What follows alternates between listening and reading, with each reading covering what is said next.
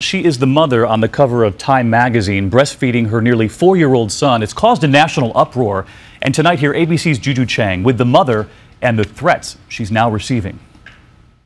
It's the cover that has the nation talking and set the mommy blogs aflame. The statement I wanted to make was that, um, you know, this is a normal and option for your child and it should not be stigmatized. Jamie Grumet is the 26 year old cover girl for attachment parenting. I love your six inch heels. Oh, thank you. I know, we, well, I'm normal. But nursing a nearly four year old for the world to see? You said people have threatened to call Child Protective Services. They call it sexual molestation. I think it's a lot of ignorance. Um, and so it's really hard to get mad at that. They're mammary glands, and this is what they were designed for.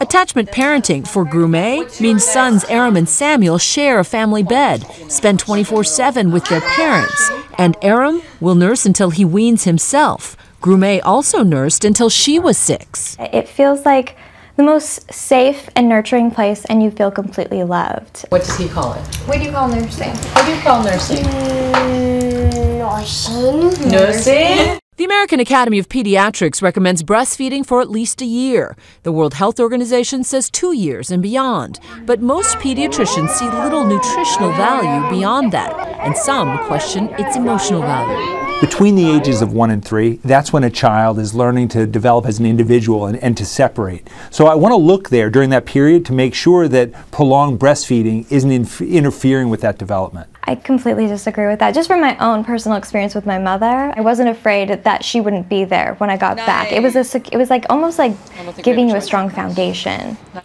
Of course, the provocative cover asks, Are you mom enough? which reopens the contentious divide between stay at home moms who have the time for extreme parenting and those who have to work.